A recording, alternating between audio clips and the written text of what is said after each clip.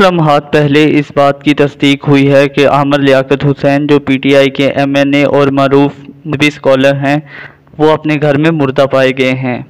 उनकी मौत के मतलब अभी तक तो कुछ भी नहीं कहा जा सकता, मगर कुछ चीज़ें वाजे हैं। हो सकता है कि वो हार्ट अटैक या किसी दूसरे बीमारी की वजह से हलाक हुए हों, जबकि इस बात के भी कभी इम्कान है, जैसा कि उनकी दूसरी बीवी ने इल्ज़ाम लगाए थे कि वो नशे के आती हैं, ये किसी नशा आवर चीज़ का या जहर का असर भी हो सकता है। जबकि ये भी इतलात हैं कि आमर लियाकत हुसैन दानिया शाह के इल्ज़ाम की वजह से काफ़ी ज़्यादा परेशान थे। और यही वजह उनके हार्ट अटैक और मौत की वजह बनी।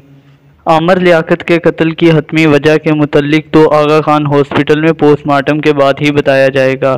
और ये भी कि क्या वो कत्ल हुए हैं या वो तबई मौत दुनिया से गए हैं।